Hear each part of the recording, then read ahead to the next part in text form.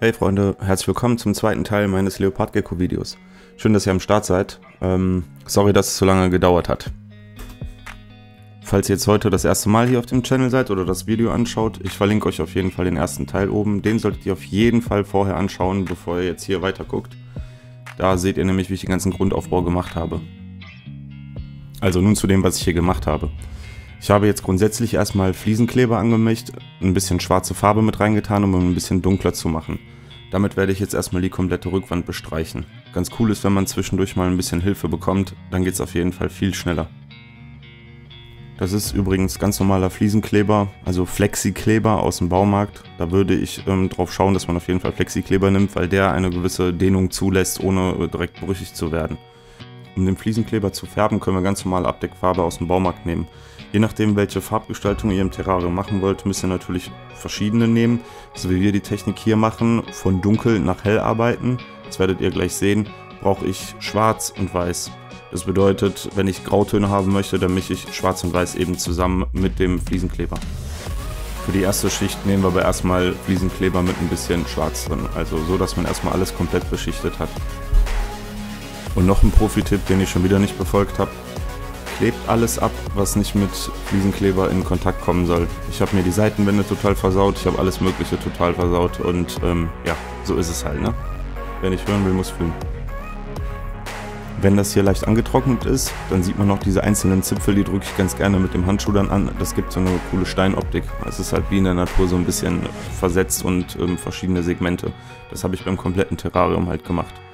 Die Gangflächen, die habe ich auf jeden Fall mit der Hand erstmal so ein bisschen glatt gestrichen, so dass ich die später noch vernünftig besanden kann und verschiedene einzelne Spitzen oder sonstige Sachen, die da entstehen beim Bestreichen, eben glatt gemacht habe. Wenn das Terrarium dann komplett getrocknet ist, dann können wir die nächste Schicht drauf tun. Dafür nehme ich wieder Fliesenkleber und tue eben viel mehr Schwarz rein. Und so mache ich dann auch die zweite dickere Schicht auf das Terrarium drauf. Später kommt ja noch eine andere Farbe drauf, die dann wieder heller wird. Aber jetzt erstmal alles komplett dunkel bestreichen. So kann man auch ganz gut sehen, wie später die Optik sein wird, wenn es eben ziemlich dunkel ist. Und dann kann man immer noch entscheiden, ob man das Ganze jetzt heller machen möchte oder ob man es doch vielleicht dunkel lässt. Ist immer Geschmackssache. Aber für unsere Optik müssen wir es zuerst sehr dunkel machen und danach arbeiten wir wieder heller. Hier kann man jetzt zum Beispiel sehen, wie es komplett getrocknet aussah.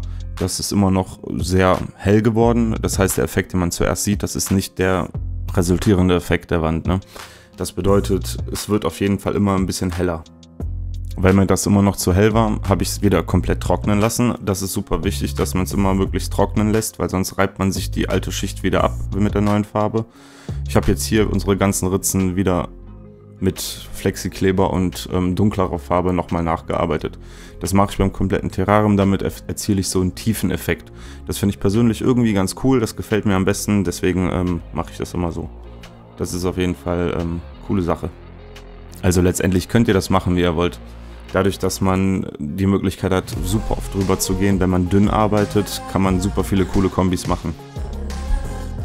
Den gleichen Flexikleber, den wir für die Wand genommen haben, den habe ich auch für den Boden genommen. Dafür muss ich erstmal das, was ich nicht abgeklebt habe, wieder hier abkratzen. Total ätzend, das bedeutet am besten abkleben, Leute. Auch in anderen Bereichen, wie zum Beispiel am Rand, hat das gut funktioniert, mit dem Spachtel das abzukratzen. Aber man beschädigt halt so ein bisschen das Material. Das ist, und das ist halt total viel Aufwand, der ein bisschen unnötig ist. Das heißt, wenn man gutes Tape nimmt, kann man sich viel zusätzliche Arbeit ersparen. Auch im Lüftungsbereich oben war es ziemlich ätzend, das abzukratzen. Da habe ich nämlich extrem viele Kratzer hinterlassen. Das war ziemlich ärgerlich, aber kann man nichts machen. Außer eben abkleben, ne? Also weiter mit dem Mittelbereich. Für den Tempelbereich nehmen wir eine einheitliche Farbe, auch viel heller als die Rückwand. Da das Ganze, sage ich mal, die gleichen Steine sein sollen, habe ich es eben nur in einer Farbe gemacht. Um so ein bisschen alte Optik reinzukriegen, habe ich den Pinsel von mir einfach umgedreht, beziehungsweise mein ähm, Messer genommen und da so Kratzer und Risse und sonstige Sachen reingezeichnet. Wenn das Ganze dann komplett trocken ist, dann können wir anfangen, Steinoptik auf unsere Steine zu bringen. Das kann man einfach mit der Hand machen oder ich mache es mal mit der Hand, das ist irgendwie am einfachsten. Dafür nehme ich mir wieder meine helle Farbe und wische das überall rein an die oberen Stellen, wo ich eben mit den Fingern dran komme. Mit dem langen Pinsel gehe ich nochmal, wenn er ziemlich trocken ist, überall so ein bisschen rein, weil dann die herausstehenden ähm, Krümel und was weiß ich was eine Helloptik bekommen. Das kann man übrigens auch ziemlich cool mit einem Schwamm oder mit so Folie oder Tüte machen. Das habe ich auch schon mal bei einem anderen Terrarium gemacht und das hat ganz gut funktioniert. Wenn unser Bodenbereich komplett freigekratzt ist, dann können wir anfangen, die Fugen zu machen. Dafür einfach alles schön kräftig einreiben. Falls es zu dickflüssig ist, kann man auch noch ein bisschen Wasser drauf tun, aber auf jeden Fall nicht zu viel, so dass es eben komplett in die Fugen runtersickert. Ich habe das jetzt hier direkt mit einem Lappen nochmal abgewischt, das kann man auf jeden Fall immer so machen, leicht feucht und dann drüber gehen und quasi nochmal so richtig einmassieren so dass es eben danach eine glatte, nur noch ganz dünn benetzte ähm, Oberfläche ist. Und wenn es dann komplett trocken ist, kann man eben nochmal mit der rauen Seite des Schwamms drüber gehen und kriegt eben das Ergebnis, was ihr hier sehen könnt. Weiter zur Rückwand, da kommt jetzt wieder die nächste Farbe drauf. Da habe ich jetzt wirklich versucht, einen richtigen Grauton zu mischen. Aber insgesamt könnt ihr sehen, das ist jetzt schon wieder sehr hell geworden. Deswegen habe ich es nochmal dunkler angemischt und gehe jetzt nochmal mit meiner Hand drüber, um eben ja, so eine grauere Felsoptik zu bekommen. Wenn dann irgendwann das Ergebnis gefällt, dann kann man es so lassen und weitermachen mit dem ähm, Grundbau des Terrariums. So gefällt es mir auf jeden Fall ziemlich gut. Es ist sehr grau, meine Tiere sind zum Beispiel orange-weiß, das heißt, ich finde, es ist ein cooler Kontrast. Also, wenn uns das Ganze gefällt, geht es also weiter mit dem nächsten Teil. Wenn alles komplett trocken ist, dann können wir oben nochmal alles glatt machen, sodass das Dach später drauf passt, um dann die Rückwand richtig lackieren zu können. Dafür habe ich Spielzeuglack genommen. Da könnt ihr den blauen Engel sehen und auch eine DIN-Norm, die muss da draufstehen. Das ist ähm, speichelecht. Das ist, glaube ich, DIN EN 71-3 oder so. Müsst ihr auf jeden Fall mal drauf schauen oder eben googeln im Internet. Ich mache es ja nur nach bestem Wissen und Gewissen, aber bitte erkundigt euch auf jeden Fall. Ja, den Spielzeuglack, den verteile ich auch mit einem Pinsel dann auf die komplett getrocknete Rückwand. Es darf auf jeden Fall da nichts mehr nass sein. Wenn da noch irgendwas nicht getrocknet ist, dann ist es auf jeden Fall echt blöd. Den Lack trage ich überall schön auf. Es darf keine allzu dicke Wulzen irgendwo sein, sonst kann es sein, dass das so ein bisschen ähm, ja, milchig ist, sage ich mal. Die Gänge, die wir hier lackieren, da werde ich auf jeden Fall später noch Sand drauf tun. Ihr könnt auch zum Beispiel zuerst nur die komplette Rückwand lackieren und danach die Gänge und dann die Gänge besanden. Das ist auf jeden Fall einfacher. Ich habe es jetzt hier wieder alles auf einmal gemacht. Und theoretisch muss man das Becken übrigens nicht lackieren. Kann man machen, wenn man möchte, muss man nicht. Ich finde es ganz cool, es ist auf jeden Fall ein bisschen schlagfester, es ist ähm, witterungsbeständiger, vor allem wenn man mal gerne, sage ich mal, feucht die Stellen sauber macht, wo die Geckos hinkoten und sowas.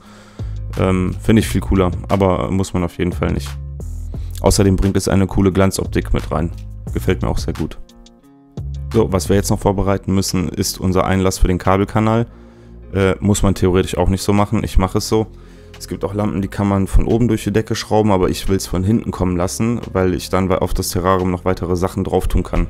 Dafür habe ich zwei Einlässe gemacht, jeweils halb links und halb rechts, so dass ich mit den Kabelkanälen da frickeln kann, wie ich möchte, oder es eben versiegeln muss, falls ich nur einen nutze. Wenn das alles vorbereitet ist, können wir unsere Decke festschrauben und dann sieht das von innen so aus. Ziemlich cool, man kann oben auch sonst nochmal mit ähm, Silikon schließen, wenn man muss. Bei mir hat das jetzt so wenig Platz, dass da keine Futtertiere zwischenkommen. Das heißt, das passt alles wunderbar. Für die Beleuchtung im inneren Teil habe ich eine große T5-Röhre, glaube ich, genommen, heißt es, oder T8? Ne, ich glaube, es ist die schmalere Variante auf jeden Fall.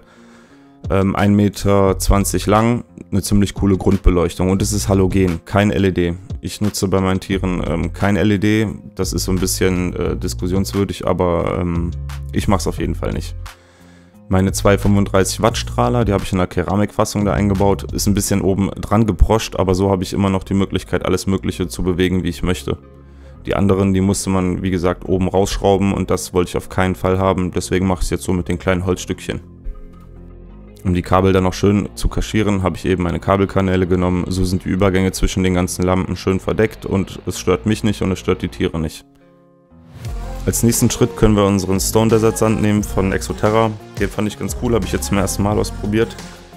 Den kann man einfach quasi verteilen, wie man möchte. Da macht man den nass und dann muss man den halt so ein bisschen ähm, kneten. Der hat einen coolen Lehmanteil drin. Also scheint mir auf jeden Fall einen guten Eindruck zu machen. Ich habe das Terrarium jetzt auch schon ein Weilchen stehen und der Boden ist schön fest. Theoretisch könnte man daraus irgendwelche Hüllen formen oder sonst irgendwas, aber das habe ich jetzt nicht gemacht. Ich habe meine ganzen Hüllen als einzelne Elemente gebaut, deswegen brauche ich hier nur wirklich ähm, ganz gering hohen Bodengrund, um da eben meine Sachen drauf zu positionieren. Wie zum Beispiel meine Wetboxen oder eben ähm, einzelne Wurzelhölzer oder Korkröhren. Als Tipp würde ich euch noch sagen, dass ihr nicht direkt zu viel Wasser drauf tut, weil wenn es richtig matschig ist, dann braucht das ultra lange zum Trocknen. Das bedeutet, sprüht immer so ein bisschen nach, knetet das ganze Zeug und dann werdet ihr, glaube ich, so ein bisschen fühlen, wann es eine gute Konsistenz hat und nicht zu lange zum Trocknen braucht.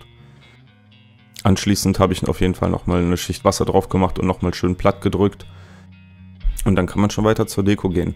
Ich habe hier so ein paar Telansinen, heißt es glaube ich. Die kann man ganz cool als Liane machen. Da muss man auf jeden Fall aufpassen, dass man keine grüne nimmt, weil grün giftig ist und diese grau getrockneten eben nicht giftig sind, falls es irgendwie in den Mund von den Leopardgeckos kommt. Außerdem habe ich hier noch ein bisschen Aquariendeko gekauft. Das sind so Drachenlöwen, irgendwas Chinesisches, glaube ich. Aber ich fand es trotzdem irgendwie ganz passend ins Terrarium. Die klebe ich mit Heißklebepistole fest oder mit Heißkleber. Und ähm, ja, ich drehe die so ein bisschen zueinander und dann sieht man quasi so den Ganesh unten und die zwei sich anguckend. Fand ich irgendwie ganz cool. Hier sieht man noch das, was man im ersten Teil nicht gesehen hat, was ich jetzt hier für die Front mache. Die Lüftungsgitter, die sind ja eigentlich nicht für Terrarien geeignet, sondern eher für Türen, aber ich fand die von der Optik irgendwie cooler als die ähm, Plastikkreise irgendwie. Ähm, da habe ich auf jeden Fall Lochblech gekauft und die dann quasi da eingeklebt, so dass das auf jeden Fall dicht ist beziehungsweise luftdurchlässig ist, aber so kleine Löcher hat, dass keine Futtertiere ausbrechen können. Dann habe ich noch weitere Sachen gekauft, wie zum Beispiel diese äh, Maya-Höhle und ein paar Wetboxen. Und hier die Wetbox habe ich zum Beispiel selber gebaut. Ich werde auf jeden Fall, wenn die Tiere Winterruhe haben, noch eine Wetbox bauen. Da kann ich euch sonst auch mal so ein Tutorial machen, falls ihr interessiert seid. Gibt es auf jeden Fall auch ein paar coole Sachen, ähm, die man machen kann und auch ein paar Tipps, die ich euch, glaube ich, geben kann.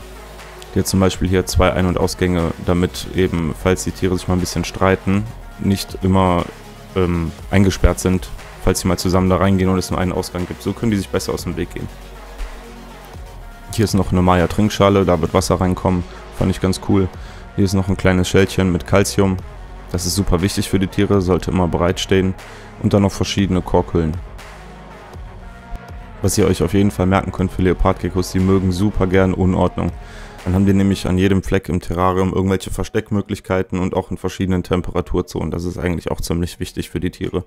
Manche sind scheuer, manche sind weniger scheu und ähm, trotzdem sollte eben jedes Tier die Möglichkeit haben, sich gut zu verstecken. Das bedeutet, das ist nicht die finale Ausstattung, die ihr gerade seht, sondern da ist noch ein bisschen was nachgekommen. Danach habe ich meine Glasscheiben eingesetzt, meine Glaslaufprofile eingeklebt, das habe ich aber schon vorher gemacht, habe ich jetzt hier nicht gezeigt.